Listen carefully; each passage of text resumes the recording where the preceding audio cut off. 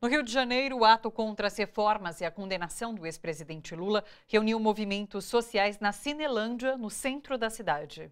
Dona Hilda se aposentou do trabalho, mas não da luta. Estou diariamente na rua e eu vou lutar enquanto eu tiver força.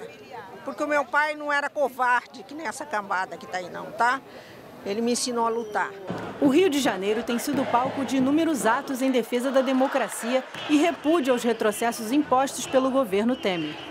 Os protestos também são motivados pela situação de calamidade do Estado, afundado em dívidas e com salários de servidores atrasados. Dessa vez, a manifestação aqui na Cinelândia, no centro do Rio, tem motivação especial. Além do repúdio à aprovação da reforma trabalhista pelo governo Temer, a defesa do ex-presidente Lula, condenado a nove anos e meio de prisão pelo juiz Sérgio Moro. Falam, falam, falam, falam, falam dele, mas não tem prova nenhuma. Eu acho que ele está sendo condenado há muito tempo que estão condenando, condenando, desde que ele foi eleito.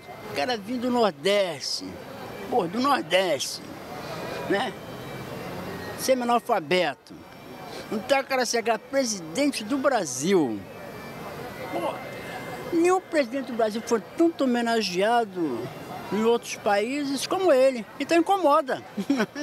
incomoda. Às vezes, só por ele ser o que ele foi, incomoda. Aí o pessoal começa a bater, bater, bater, bater, mas quanto mais bate, ele cresce.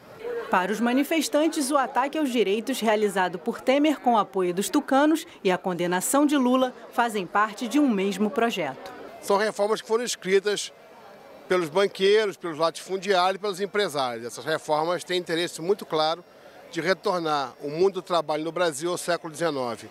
E sobre a condenação do Lula, é uma grande farsa jurídica, quando a gente vê que o mesmo juiz simplesmente ignora todas as acusações que são feitas contra os seus amigos do PSDB. Esse momento de solidariedade a Lula e de denúncia dessa perseguição abre uma luta democrática, porque ninguém, ninguém, não só Lula, mas ninguém pode ser condenado sem provas e ser retirado da luta política ou eleitoral sem provas.